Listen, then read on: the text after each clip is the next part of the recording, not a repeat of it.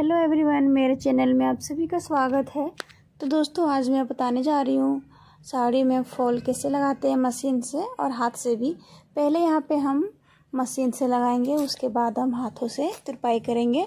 तो यहाँ पे देख सकते हैं, मैं साड़ी ले ली हूँ और फॉल भी। तो यहाँ पे साड़ी को मैं सीधी साइड दिखा रही हूँ आपको करके। तो हमको उल्टी साइड से लगानी है एक बिद्दा छोड़ के। आप अपने हिसाब से जितना भी छोड़ सकते हो। तो यहाँ पे मैं मोड़ के देख सकते हैं, यहाँ पे दिखा रही हूँ मैं आपको। जो टेढ़ा मेढ़ा होता है ना, फोल में लाइन, उसको हम सीधा कटिंग कर लेंगे। उसके बाद हम एक बितर लाइन छोड़ के सिलाई कपड़े को पकड़ के और साड़ी के कपड़े को पकड़ के बराबर से देख सकते हैं, कुछ इस प्रकार बराबर सिलाई लगा देंगे किनारी पे। देख सकते हैं, कुछ इस प्रकार। अब यहाँ पे हम देख सकते हैं, साइड साइड में सिलाई देते हुए पूरी फॉल में हम लगा लेंगे।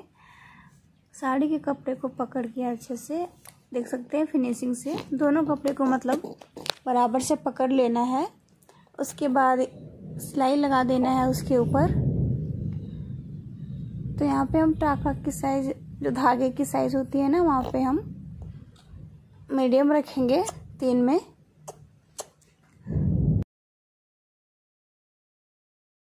और यहाँ पे मैं मशीन से चारों तरफ़ सिलाई लगा दूँगी फूल के चारों तरफ़।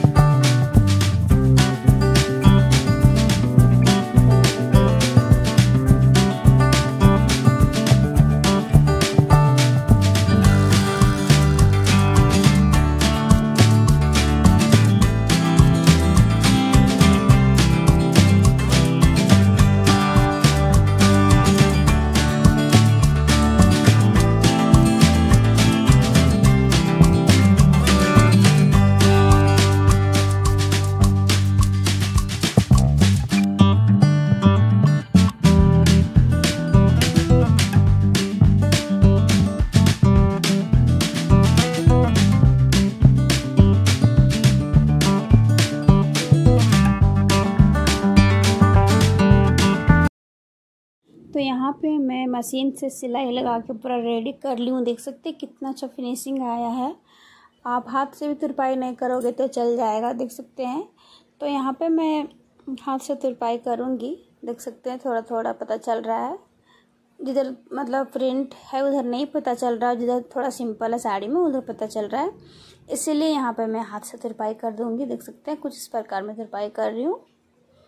तो आपको जो अच्छा लगे आप वो कर सकते हो। अगर आपका साड़ी है ऐसा कि मशीन से सिलाई करे, वो पता नहीं चल रहा है तो आप वो सिलाई खो मतलब खोलिएगा नहीं, वैसे ही रख सकते हैं। बहुत ही अच्छा फिनिशिंग आता है और दिखने में भी नहीं पता चलता है। तो यहाँ पे हम हाथ से लगा के तुरपाई कंप्लीट कर लेंगे, देख सकते हैं कुछ इस प्रकार। अब हम थोड़े दूर ऐसे तुरपाई कर लेंगे, उसके बाद मैं आपको दिखाऊँगी फाइनल लुक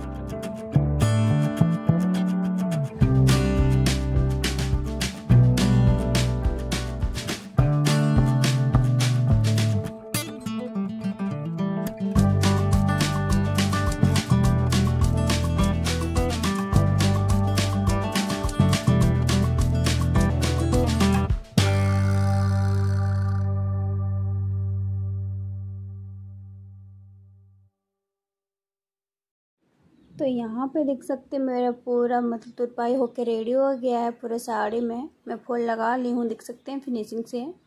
तो यहाँ पे मैं लास्ट कर रही हूँ तो यहाँ पे फिनिशिंग से कर लेंगे। उसके बाद आप लुक देखिए, कितना अच्छा लुक आया था। अब मैं फिर से आपको दिखा दे रही हूँ पूरी साड़ी भी और साड़ी में लगी हुई फॉल भी। तो देख सकते हो फॉल कितनी अच्छी फिनिशिंग से लगी है। मैं सीधी साइड से भी दिखा रही हूँ और उल्टी साइड से भी। देख सकते हैं कितना अच्छा फिनिशिंग आया है। मैं हाथ ऐसे कर रही हूँ, बिल्कुल कपड़ा यहाँ पे जमा नहीं हो रहा है ऐसे फिनिशिंग से लगाइएगा। बहुत ही अच्छा मतलब निकल के आएगा। देख सकते हैं लुक कितना अच्छा लग रहा है देखने से। तो दोस्तों, मेरा आज का वीडियो कैसा लगा प्लीज़ कमेंट करके बताइएगा। इसी के साथ मेरे वीडियो को लाइक कर दीजिएगा।